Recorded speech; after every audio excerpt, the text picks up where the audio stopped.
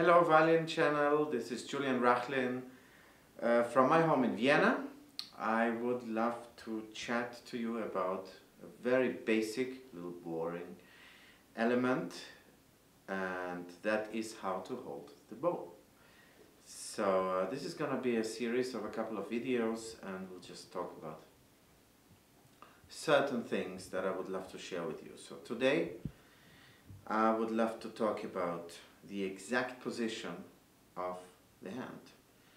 Uh, what I think is, and what I recommend, is for the thumb not to touch the frog.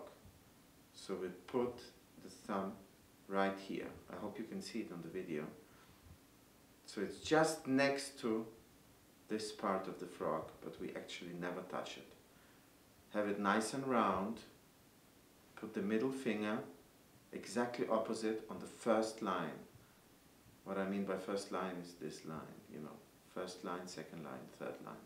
At least I call it that way.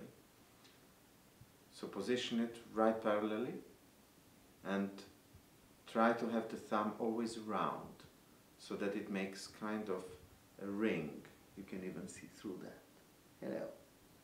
So, then comes the first, the third and the fourth finger and they should have a distance between each finger of exactly one finger.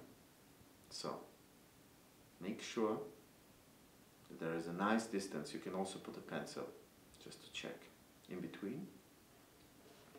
And next thing I would like to share with you is focus on the second knuckle. Now this is our knuckles here.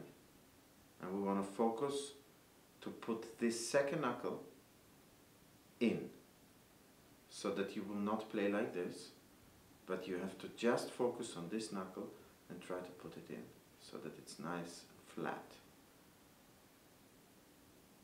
Remember thumb is round, thumb is round, distance between each fingers, second knuckle in. And of course the pinky, the small finger, the fourth finger is also nice and round. This is it. Alright, enough for today. See you soon again. Bye bye.